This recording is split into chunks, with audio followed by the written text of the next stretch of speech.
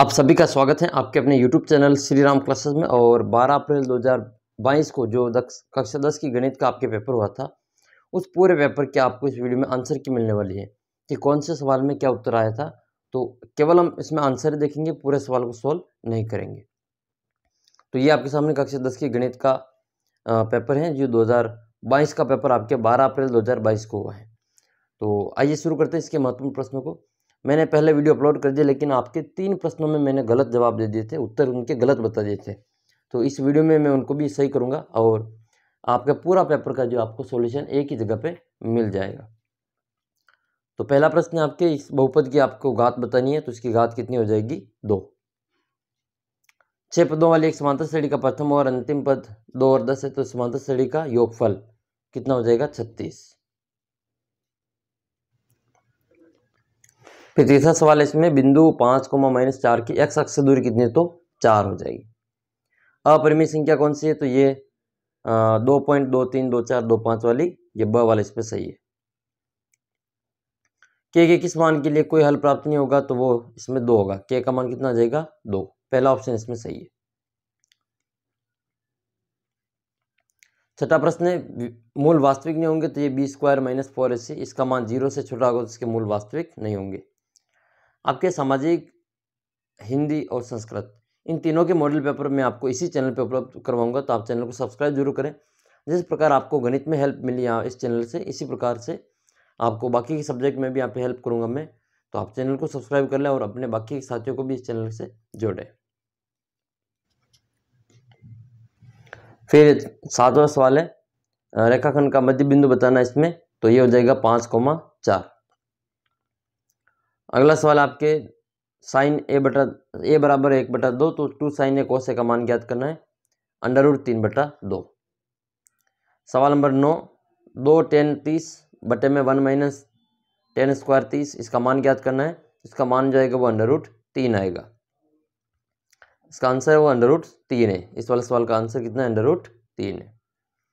अगला सवाल एक पासे को फेंकने पर अब्बाज संख्या आने की प्रायिकता वो एक बटा दो होगी। अब्बाज संख्या कौन कौन सी होती है? दो, तीन और पाँच। ये तीन ही अभ्य संख्या होती है, तीन बटा छः, यानी कि एक बटा दो। आंकड़ों का माध्यक ज्ञात करना है तो बीच की संख्या कौन सी इसमें तीन है तो हमारा माध्यक हो जाएगा तीन। नेक्स्ट क्वेश्चन है, बारंबारताओं का योग साठ है तो एक्स का मान ज्ञात करना है। तो एक्स का मान कितना आएगा इसमें? साठ आ जाएगा। एक्स बराबर इसमें साठ है। फिर आपके दूसरे में रिक्त स्थान है, दो रिक्त स्थान इसमें दूसरे पद का मान आएगा इसमें आपके तेरह बटे दो और तीसरे पद का मान आ जाएगा इसमें आठ। यहाँ तेरह बटा दो बनना था, इसमें आपको आठ बनना है। दूसरा सवाल आपके रिक्त स्थान वाला इसमें आ जाएगा संपत्ति। रैखिक समीकरण युग में दे रखे तो ये वाला जो कंडीशन है ए वन बटा ए टू बी वन बटा बी टू सी वन बटा सी टू तीनों ही बराबर थे वो संपत्ति होंगी, उनके अनेक हल प्राप्त होंगे। ये सम, ये रेखाखंड दे रखा है, सात पॉइंट पाँच सेमी दो अनुपात, एक में इसको बांटना है। तो बड़े बाग की लंबाई कितनी हो जाएगी? तो ये सात पॉइंट पाँच में, ये टोटल कितनी जोड़, इसकी तीन जोड़ हो रही तीन भाग हो जाएँगे तो तीन का भाग दे दो। तो एक भाग आ जाएगा तो दो भाग का मान कितना होगा? एक भाग का मान दो पॉइंट पाँच होगा तो दो भाग का मान कितना हो जाएगा? पाँच सेंटीमीटर। इसका आंसर हो जाएगा यहाँ पे पाँच सेंटीमीटर। इन दोनों बिंदुओं का मिलाने वाले रेखाखंड की लंबाई ज्ञात करनी है। तो इसका उत्तर अंडर रूट पचास लिखा तो भी सही है। और किसी ने इसका उत्तर अंडर रूट ये पाँच अंडर रूट दो लिखा तो भी इसके सही है।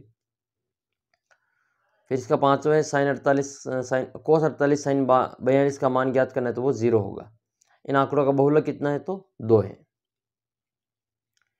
फिर ये लघुत्तम वाला सवाल आपके इसमें कितने आंसर आ रहे हैं? लघुत्तम बहत्तर और एक सौ बीस वाले में तीन सौ साठ उत्तर आ रहे हैं। इसमें उत्तर कितने आएँगे? तीन सौ साठ आएँगे। दूसरा द्विघात बहुपद बनाना है, जिसका उत्तर है X square X square plus तीन एक्स प्लस दो, जिसने इसका उत्तर ये लिखा, उसके नंबर मिलेंगे।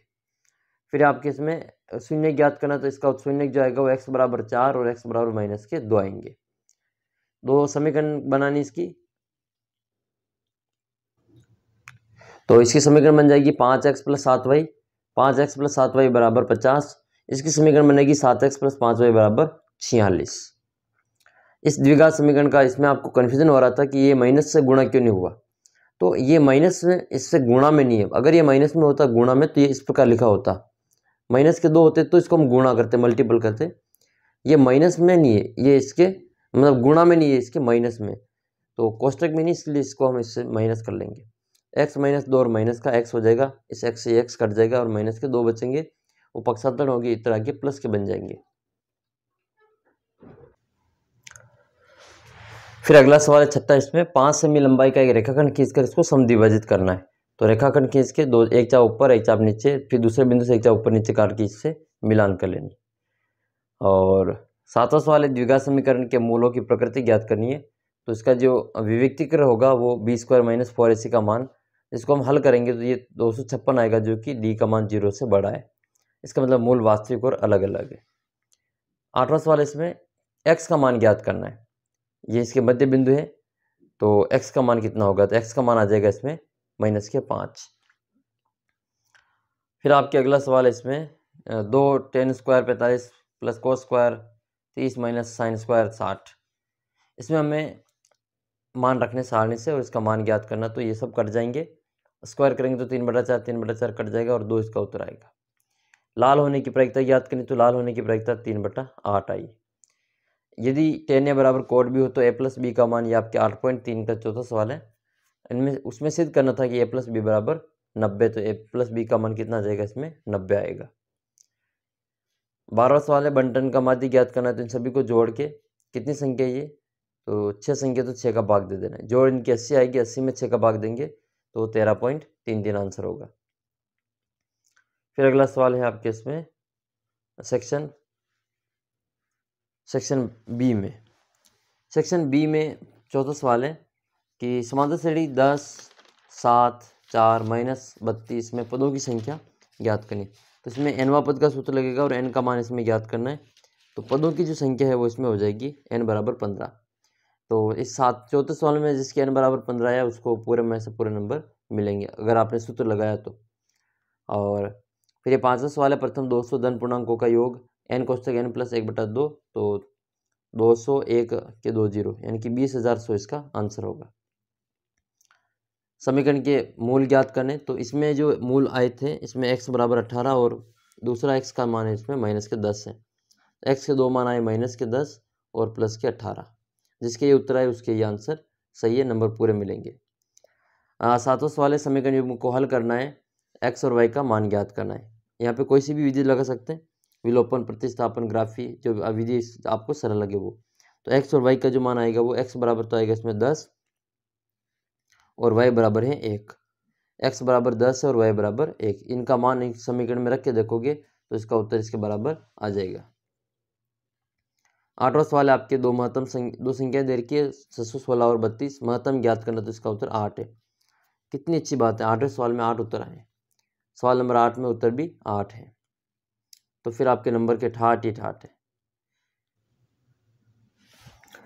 नवा सवाल आपके द्विघात बहुपद ज्ञात करना है, जिसके शून्य दे रखे अंडर रूट तीन और माइनस के अंडर रूट तीन तो इसका उत्तर जो आएगा वो माइनस का एक्स स्क्वायर माइनस के तीन।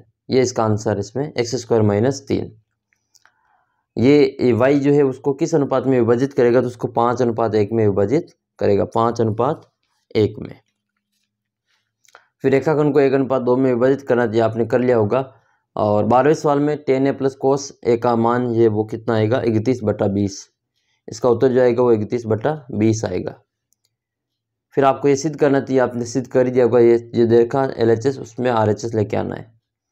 अगला सवाल है, बंटन का माध्य ज्ञात करना है तो इसमें जो उत्तर आएगा वो नौ पॉइंट तीन एक इसका आंसर है। नौ पॉइंट तीन एक। प्रश्न नंबर पंद्रह है, इससे अधिक प्रकार की आपको संचय बारंबारता सारणी बनानी है। तो वो आपने बना ली होगी सारणी, इसमें ऐसा लिखना था अधिक में जो निम्न सीमा है उससे अधिक लिखते हैं। पचास से अधिक, ठीक है, फिर पचपन से अधिक, साठ से अधिक, ये नई सारणी बनेगी। फिर जो ऊपर इन सब की जोड़ कर लेंगे, ये सौ हो जाएगी और फिर सौ में से दो को घटाएँगे तो अट्ठानवे लिखेंगे। तो इस प्रकार से इसको हम बनाते हैं।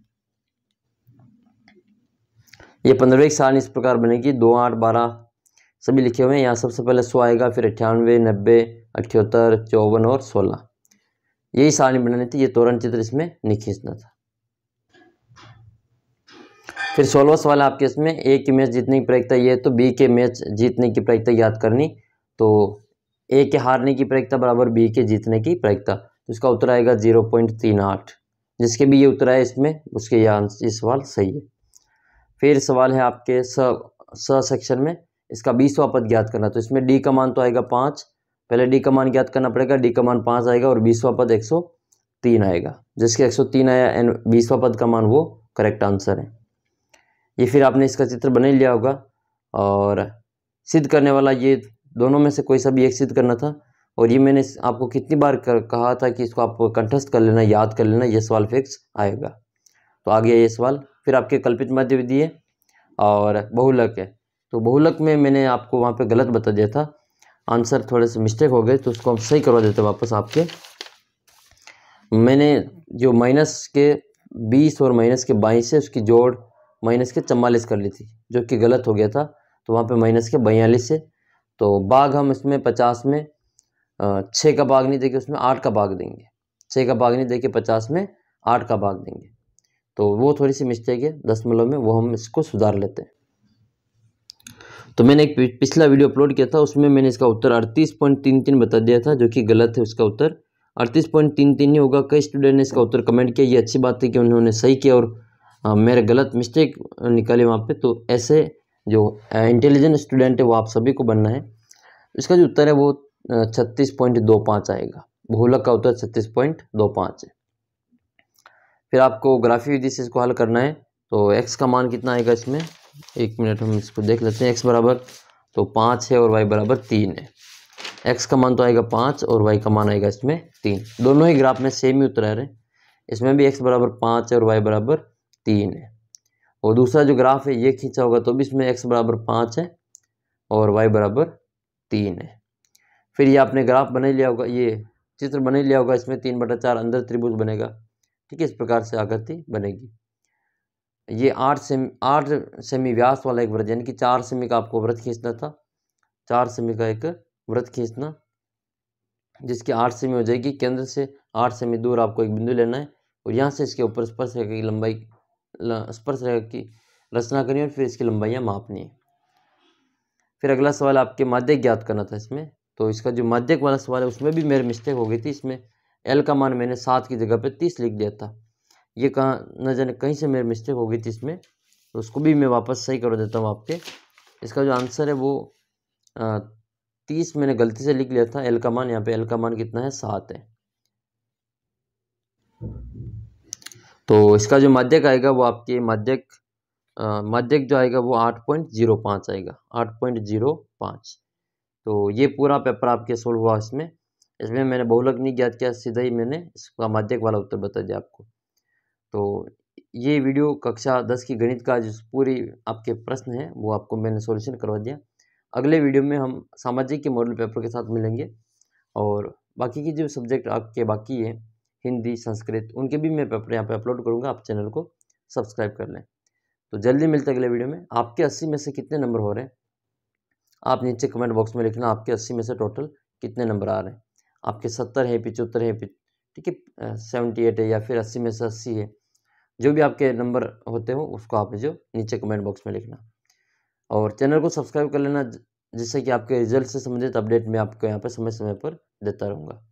जल्दी मिलेंगे अगले वीडियो में। सामाजिक और बाकी के विषय के मॉडल पेपर के साथ, तब तक जय हिंद, जय भारत।